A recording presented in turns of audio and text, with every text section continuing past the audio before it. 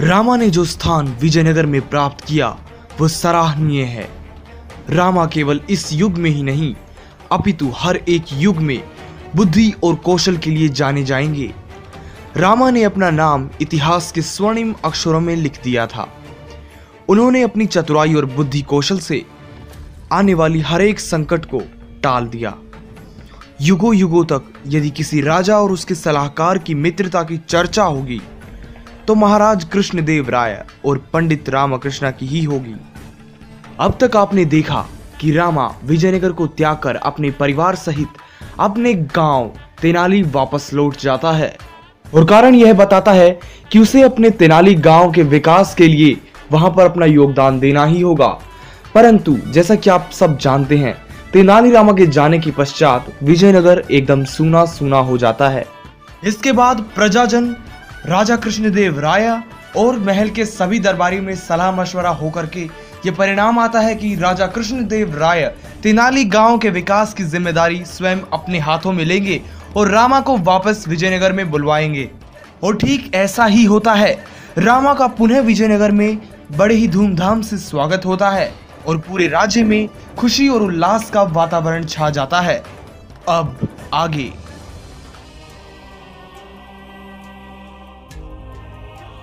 विजयनगर साम्राज्य के राजा कृष्णदेव राय के दरबार में कलाकारों का बड़ा सम्मान था।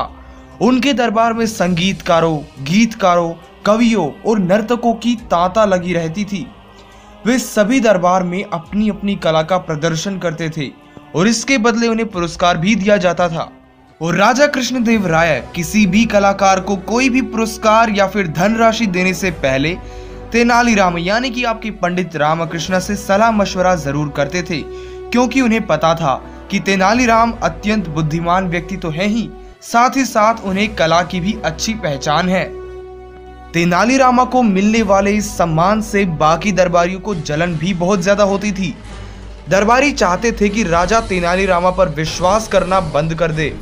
जलने वालों की सूची में जो नाम सबसे अव्वल था वो था विजयनगर साम्राज्य के राज पुरोहित धूर्त, पापी और मक्कार।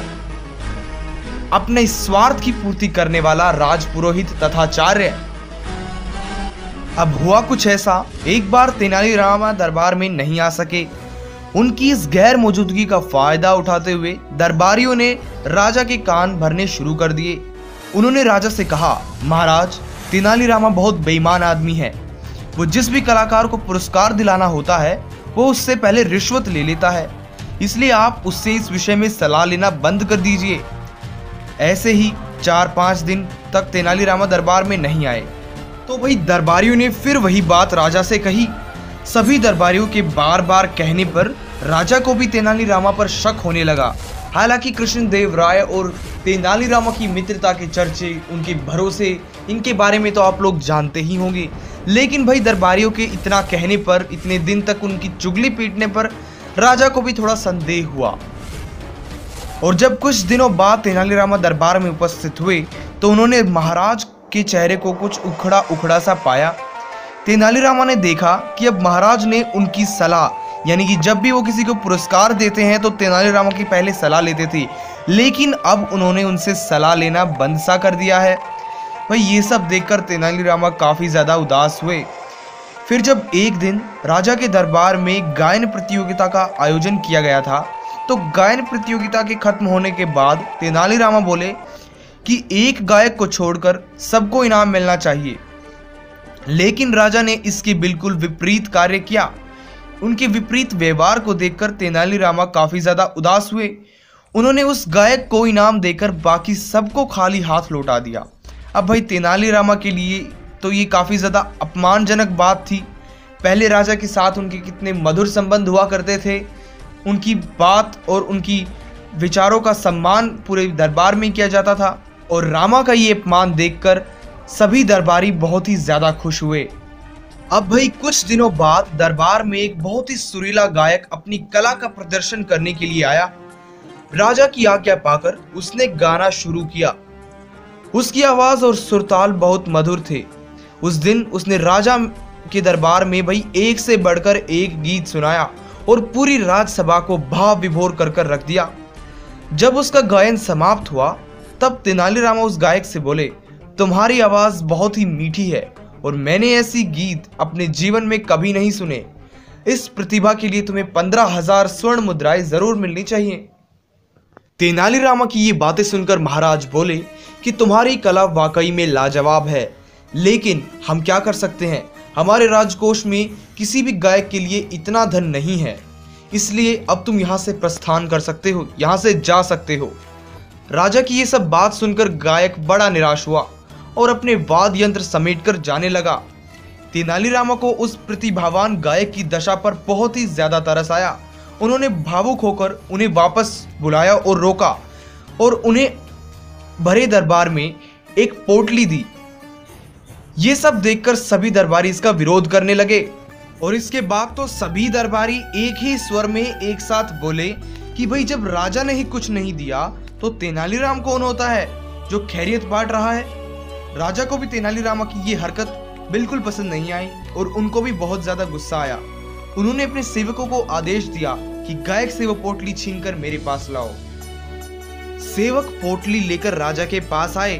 भाई, अब राजा ने पोटली खोली तो पाया कि पोटली के अंदर एक मिट्टी का बर्तन था और उस मिट्टी के बर्तन को देखकर राजा तेनालीरामा से सवाल करने लगे कि भाई, तुमने गायक को मिट्टी का बर्तन ही क्यों दिया?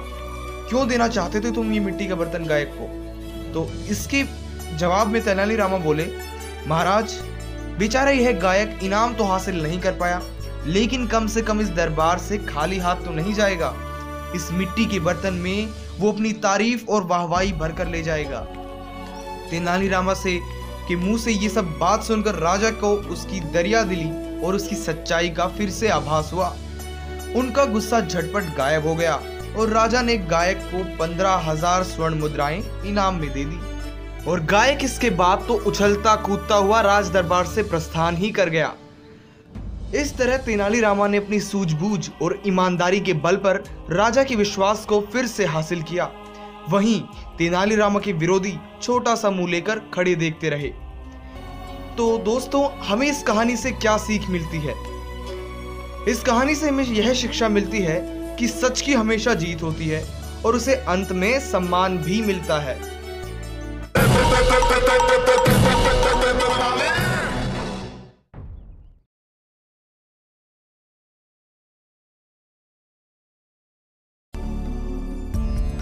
कृष्ण देव राय हर साल विजयनगर का वार्षिक उत्सव बड़ी ही धूमधाम से मनाते थे।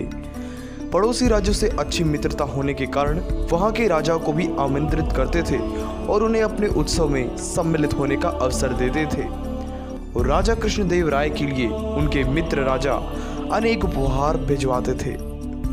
हर साल की तरह इस बार भी विजयनगर का वार्षिक उत्सव मनाया गया। और इस अवसर पर राजा कृष्णदेव राय को चार बेशकीमती फूलदान उपहार में मिले। फूलदानों को देखते ही राजा का मन उन पर आ गया। और ऐसा होता भी क्यों ना, उन सभी फूलदानों की शोभा देखते ही बनती थी।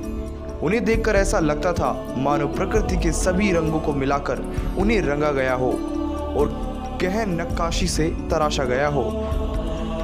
जब जब बात इन फूलदानों की देखरेख की आई तो महल के सबसे काबिल सेवक रमैया को इसका कार्यभार सौंपा गया।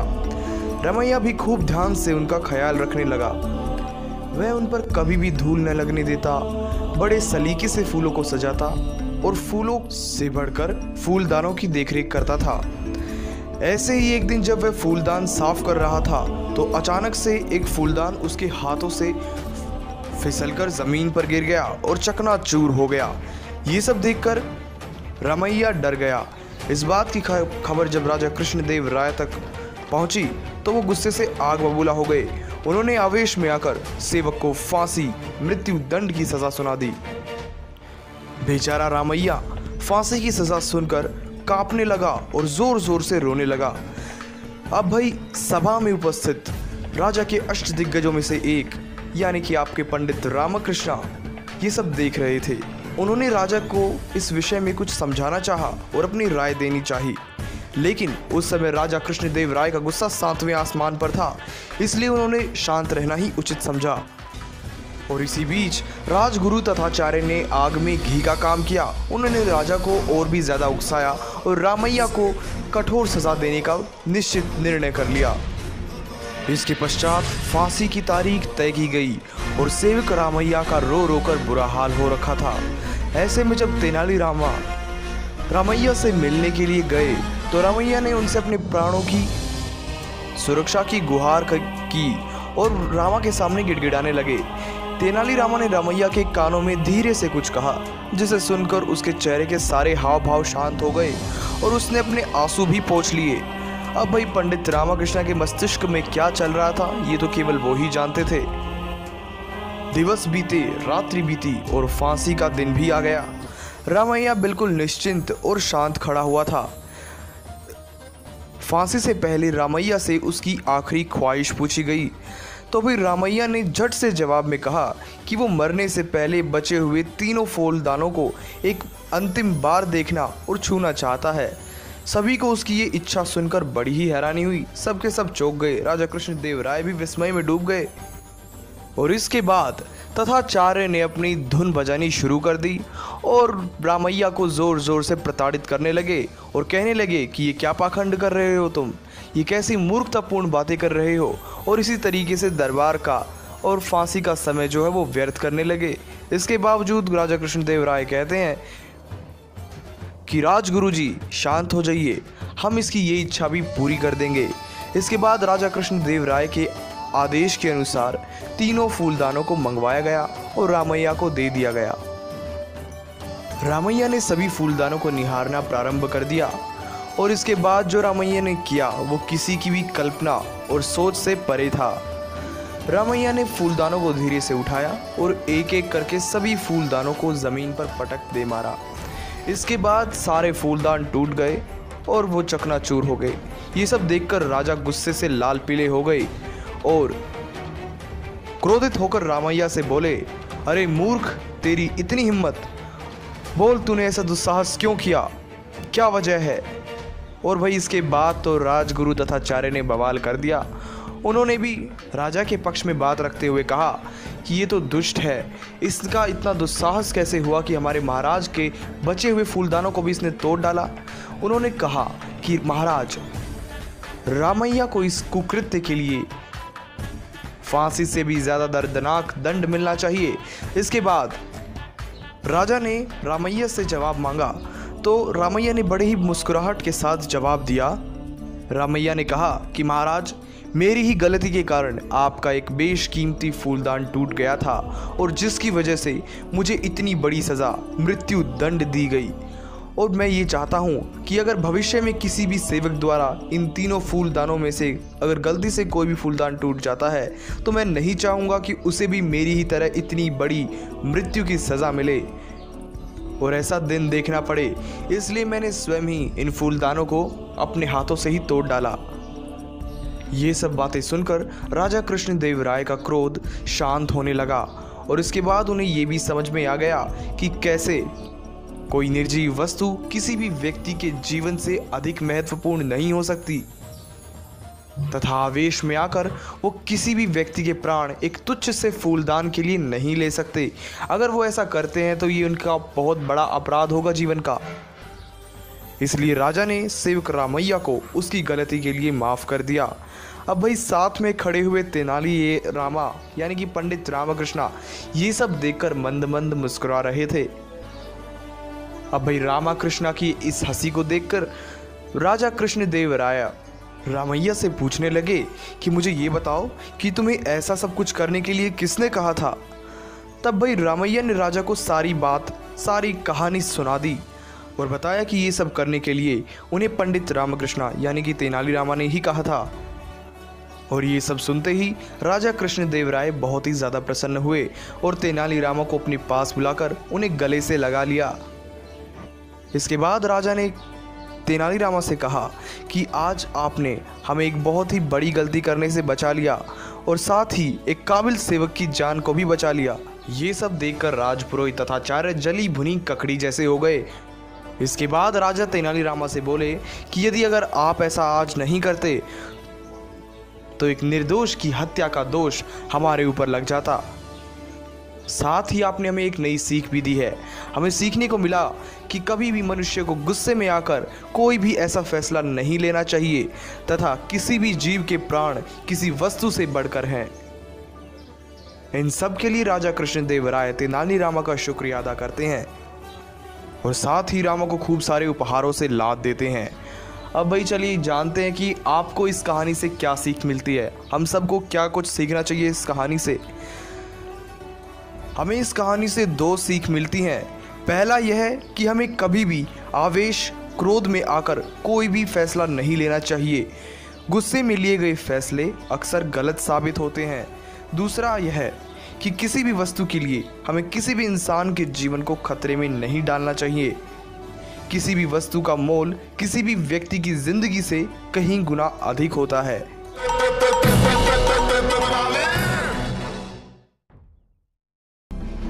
एक बार राजा कृष्णदेव राय के दरबार में एक महान विद्वान आया।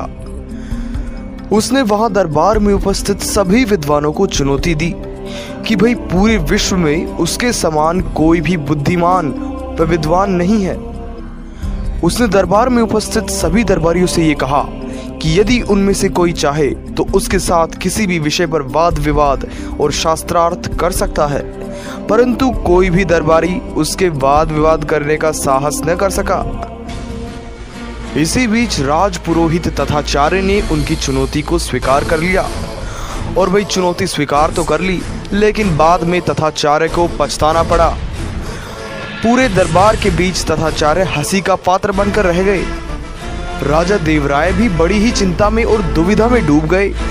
अब भाई उनका शस्त्र, जो कि उनका ब्रह्मास्त्र है, यानी कि हमारे पंडित रामाकृष्णा। अब भाई राजा ने दरबारियों को, अपने सैनिकों को आदेश दिया कि पंडित रामाकृष्णा को जल्द से जल्द दरबार में उपस्थित होने का निमंत्रण दे दिया जाए। राजा के आदेश पर रामा दरबार में आए और महाराज को निश्चिंत होने के लिए कहा। पंडित रामकृष्ण ने विद्वान की चुनौती को स्वीकार कर लिया और इसी बीच चुनौती का दिन भी तय कर लिया गया। भाई दिवस बीते, रात्रि बीती और मुकाबले का दिन भी आ गया। और मुकाबले के दिन पंडित रामकृष्ण पूर्णतः एक विद्वान पंडित के रूप में दरबार में उपस्थित हुए। उन्होंने अपने हाथ में एक बड़ा सा गट्ठर ले रखा था, जो देखने में भारी पुस्तकों के गट्ठर के समान लग रहा था। और शीघ्र ही वो विद्वान भी दरबार में आकर तेनाली रामा के सामने बैठ गया। रामा ने झुककर महाराज कृष्णदेव राय को प्रणाम किया और गट्ठर को अपने और विद्वान के बीच में रख दिया। तत्पश्चात दोनों वाद विवाद के लिए बैठ गए। राजा समझ गए थे कि पंडित का रूप धरे तेनालीरामा के मस्तिष्क में अवश्य ही कोई योजना चल रही होगी, इसलिए वे पूरी तरह आश्वस्त नज़र आ रहे हैं। अब राजा के आदेश पर वाद विवाद आरंभ कर दिया गया। पंडित के रूप में तेनालीराम पहले अपने स्थान पर खड़े होकर बोले, विद्वान महाशय, मैंने आपके विषय में बहुत कुछ सुना है। आप जैसे महान विद्वान के लिए मैं एक महान तथा महत्वपूर्ण पुस्तक लाया हूँ, जिस पर हम लोग वाद विवाद करेंगे। महाशय, कृपया मुझे इस पुस्तक का नाम बताइए, विद्वान ने कहा। तेनालीराम बोले, विद्वान महाशय पुस्तक का नाम है तिलक्षता महिषा बंधन विद्वान चकित हो गया। विद्वान ने अपने पूरे जीवन में इस तरह की पुस्तक का ना तो नाम सुना था, ना कहीं पढ़ी थी। इसलिए विद्वान घबरा गया और सोचने लगा कि भाई ऐसी पुस्तक जिसके विषय में ना तो आज तक उसने कभी पढ़ा है और ना ही कभी सुना है, कैसे उससे वाद विवाद करेगा? लेकिन फिर भी वह बोला अरे, यह तो बहुत ही उच्च कोटि की पुस्तक है। इस पर वाद विवाद करने में बहुत ही आनंद आएगा। परंतु आज विवाद रहने दिया जाए, क्योंकि मैं इस पुस्तक के महत्वपूर्ण तथ्यों को भूल गया हूँ। इसलिए मैं कल प्रातः स्वस्थ व स्वच्छ मस्तिष्क के साथ हम दोनों वाद विवाद करेंगे। तेनालीराम के अनुसार वह विद्वान तो आज के वाद विवाद के लिए पिछले कई दिनों से प्रतीक्षा कर रहा था। परंतु अतिथि की इच्छा का ध्यान रखना तेनालीराम का कर्तव्य था। इसलिए वह सरलता से मान गया। लेकिन वाद विवाद में हारने के भय से विद्वान नगर छोड़कर भाग गया और अगले ही दिन प्रातः जब विद्वान शाही दरबार में उपस्थित नहीं हुआ तो तेनालीराम बोले, महाराज, वह विद्वान अब नहीं आएगा। वाद विवाद में हार जाने के भय से लगता है वह विजयनगर से पलायन कर चुका है। रामावाद विवाद के लिए लाई गई उन अनोखी पुस्तक के विषय में कुछ बताओ, जिससे कि हमें भी तो ज्ञात हो कि ऐसी कौन सी पुस्तक है जिसे डरकर वह विद्वान भाग गया। राजा ने पूछा, महाराज, वास्तव में ऐसी कोई भी पुस्तक नहीं है। मैंने ही उसका यह नाम रखा था तिलक्षता महिषा बंधन। इसमें तिलक्षता का अर्थ है शीशम की सूखी लकड़ियाँ, और महिषा बंधन का अर्थ है वह रस्सी। जिससे भैंसों को बांधा जाता है। मेरे हाथ में वह गट्ठर वास्तव में शीशम की सूखी लकड़ियों का था, जो कि भैंस को बांधने वाली रस्सी से बंधी थी। उसे मैंने मलमल के कपड़े में इस तरह लपेट दिया था, ताकि वह देखने में एक पुस्तक जैसी लगे। लेकिन तेनालीरामा की बुद्धिमता को देखकर राजा व दरबारी अपनी हँसी रोक ही नहीं पाए। राजा ने प्रसन्न होकर रामा को ढेर सारे पुरस्कार दिए और एक बार फिर रामा ने विजयनगर की इज़्ज़त, उनका सम्मान और उनकी प्रतिष्ठा को बनाए रखा।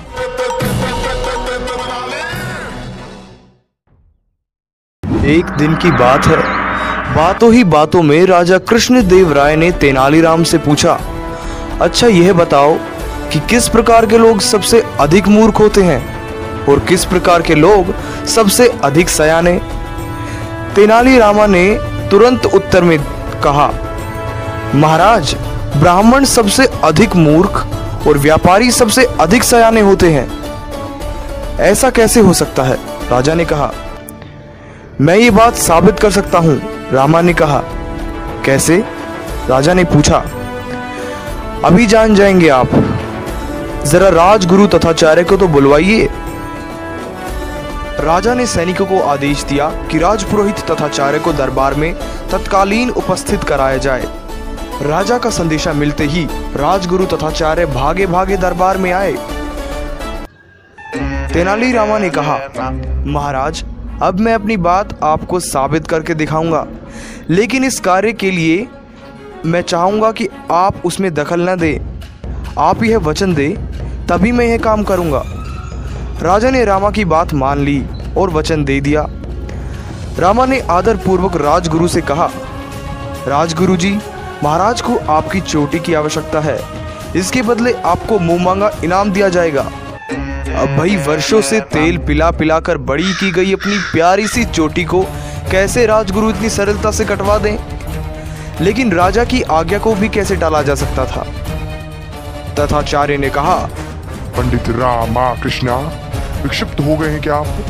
हम अपनी प्रिय चोटी को किसी भी मूल्य पर नहीं कटवाएँगे। समझे आप? इसी बीच तथाचार्य के शिष्य धनी बनी। तथाचार्य को ये सुझाव देते हैं कि गुरुजी, विचार उच्च है, ऐसा अवसर पुनः नहीं मिलेगा। और तथाचार्य दोनों को एक एक थप्पड़ लगाकर चुप रहने का आदेश देते हैं। इसी बीच पंडित रामाकृष्ण बोल पड़ते हैं। रामा कहते हैं, गुरुवर, आपने वर्षों से और जीवन भर महाराज का नमक खाया है। चोटी कोई ऐसी वस्तु तो है नहीं, जो फिर कभी वापस ना आ सके। इसलिए महाराज मुँह मांगा इनाम भी दे रहे हैं। तो मौके का लुप्त उठाइए। राजगुरु मन ही मन समझ गया कि ये पंडित रामाकृष्ण की चाल है। रामा ने पूछा, गुरुवर, आपको चोटी के बदले क्या इनाम चाहिए? तथाचार्य ने मन ही मन सोचा कि वो खूब सारा धन राजा से ऐंठ ले, लेकिन फिर उसकी प्रतिष्ठा पर प्रश्न चिन्ह लग सकता था।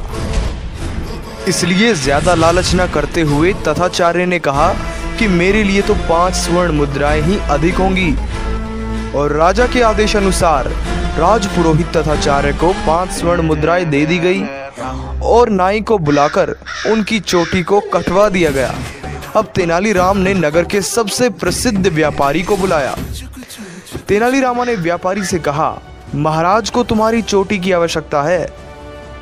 व्यापारी बोला कि, सब कुछ महाराज का, वो जब चाहें जो चाहें वो ले सकते हैं। परंतु एक बात का ध्यान अवश्य रखना कि मैं एक गरीब व्यक्ति हूँ। राजा ने व्यापारी से कहा कि तुम पूर्णतः निश्चिंत हो जाओ। तुम जो कुछ भी मांगोगे, हम तुम्हें वो दे देंगे। व्यापारी बोला, सब आपकी ही तो कृपा है, लेकिन फिर रामा बोले, संकोच न करो। जो कुछ भी कहना चाहते हो, स्पष्ट शब्दों में कहो। व्यापारी बड़ा ही चतुर था। इस पर व्यापारी बोला जी दरअसल बात ऐसी है कि मैंने अपनी बेटी का विवाह किया था। तो अपनी चोटी की लाज रखने के लिए पूरी पाँच हज़ार स्वर्ण मुद्राएँ खर्च की थी। पिछले साल मेरे पिता की मृत्यु भी हो गई थी, तब भी इसी कारण पाँच हज़ार स्वर्ण मुद्राओं का खर्च हुआ था। और अपनी इसी प्यारी दुलारी चोटी के कारण ही बाज़ार से कम से कम पाँच हज़ार स्वर्ण मुद्राओं का उधार भी मुझे मिल जाता है।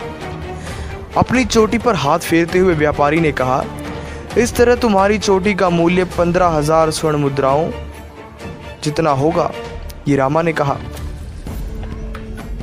इस पर व्यापारी सहमत हो गया। यह मूल्य तुम्हें दे दिया जाएगा। पंद्रह हज़ार स्वर्ण मुद्राएँ व्यापारी को दे दी गई। व्यापारी चोटी मुंडवाने बैठा। जैसे ही नाई ने चोटी पर उस्तरा रखा, व्यापारी कड़क कर बोला, संभल कर नाई के बच्चे जानता नहीं है महाराज कृष्णदेव राय की चोटी है। और भाई ये बात सुनकर राजा कृष्णदेव राय आग बबूला हो गए। उन्होंने आदेश दिया कि तुरंत इस व्यापारी को धक्के मारकर राज्य से बाहर निकाल दिया जाए। ये सिर्फ़ रहा, यह राज्य में फिर से दिखना नहीं चाहिए। व्यापारी पंद्रह हज़ार स्वर्ण मुद्राओं की थैली को लेकर वहाँ से भाग निकला। कुछ देर बाद तेनालीरामा ने कहा, आपने देखा महाराज राजगुरु ने तो पाँच स्वर्ण मुद्राएँ लेकर अपनी चोटी मुंडवा ली। और वही दूसरी ही तरफ़ व्यापारी पंद्रह हज़ार स्वर्ण मुद्राएँ भी ले गया और चोटी भी नहीं मुंडवाई। अब आप ही बताइए, ब्राह्मण सयाना हुआ कि व्यापारी? राजा ने कहा, सचमुच, आपने सत्य ही कहा था पंडित रामकृष्णा। तो दोस्तों, इस कहानी में तो सिर्फ़ इतना ही। मिलते हैं अगले एपिसोड में। एंड उससे पहले हम आपको बताना चाहेंगे अगर अभी तक आपने हमारे चैनल को सब्सक्राइब नहीं किया है तो किस बात का इंतज़ार कर रहे हैं? जल्दी सब्सक्राइब करें और बेल आइकन को प्रेस करें, जिससे आप आने वाली वीडियोस की लेटेस्ट नोटिफिकेशंस मिस ना कर पाएँ।